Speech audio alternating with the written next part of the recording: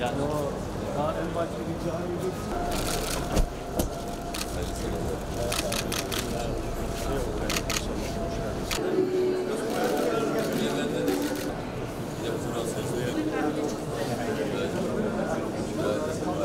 Bekliyoruz efendim.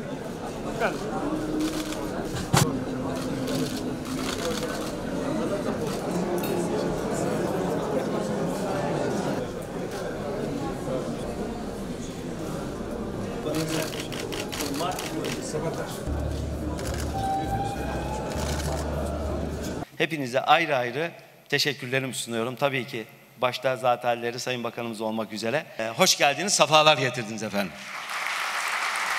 Beyoğlu böyle bir yer.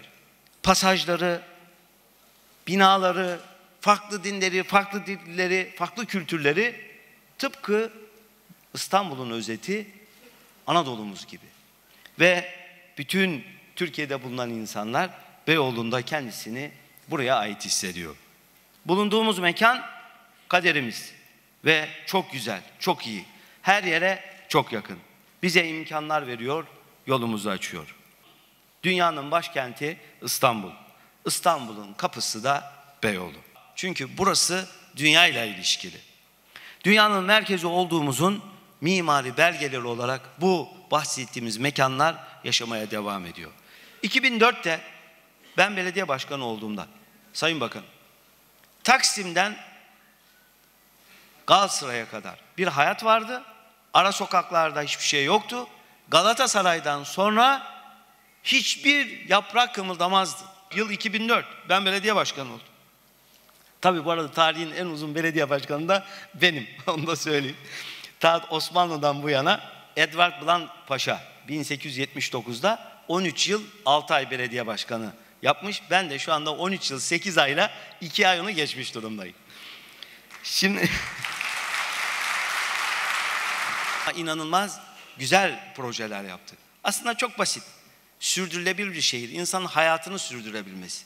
Bir evinin olması, iki işinin olması, üç yeni gelişmelere uygun hayatını idame ettireceği iyi bir eğitiminin olması, dört sosyal ve kültürel hayata eklemlenmesi.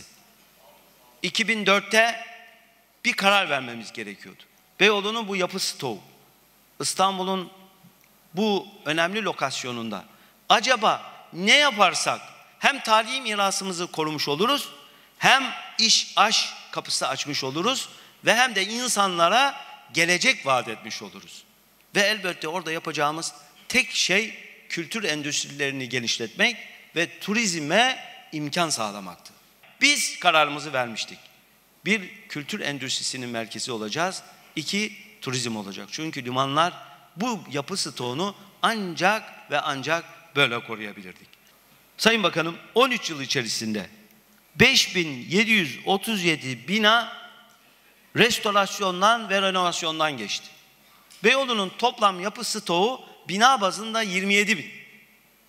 27 bin binanın 5737 tanesini yeniden renove, restore ederek hayata katmışız. Beyoğlu'na 2 milyon 250 bin metrekare ticaret ve yaşam alanı böylelikle kazandırmışız. Atatürk Kültür Merkezi projeleri tamamlandı. Kültür ve sanat görkemli bir sahneye kavuşuyor. Sayın Cumhurbaşkanımız zaten ilan ettiler. Tek başına AKM bütün Beyoğlu'nda yapılacak kültür sanat faaliyetlerine denk ve ondan çok daha fazla bir anlam ifade ediyor. Bu nedenle önümüze çıkan engelleri Beyoğlu'na yakışır bir şekilde aştık, aşıyoruz. Beyoğlu'nun geleceğine olan inancımızla yolumuzu yolumuza aynı aşkla devam ediyoruz, devam edeceğiz. Büyük işler bir bir bitiyor. Bu işlerle birlikte Beyoğlu'nun cazibesi bir kat daha artacak. Diğer taraftan Galata Port, Haliç Port, Ok Meydanı, Piyadepaşa gibi Tarlabaşı gibi çılgın projeler bütün hızıyla ilerliyor. Şu ana kadar 13 yılda konaklama ve işletme dahil işletmelerde 1 milyon metre, konaklamada 700 bin metre, toplam 1 milyon 700 bin metre bina renove restore edip 100 bin kişiye iş bulmuştuk. 2 milyar dolarda ticari hacim eriştirmiş, yapmıştık. Şimdi şu anda devam eden, süren projelerin toplam büyüklüğü 1 milyon 455 bin metrekare. Ne demek? Son 13 yılda yaptığımız kadar neredeyse yüzde yetmişi kadar yeni bir dalga daha geliyor. Bu dalgada ekonomi ona göre büyüyecek ve yeni kaynaklar oluşturacak. Önümüzdeki 3 yıl içerisinde de faaliyete geçecek. Bütün bunların üstüne ayrıca şunu söylemeliyim. Beyoğlu göz kamaştırıyor, göz kamaştırmaya devam ediyor.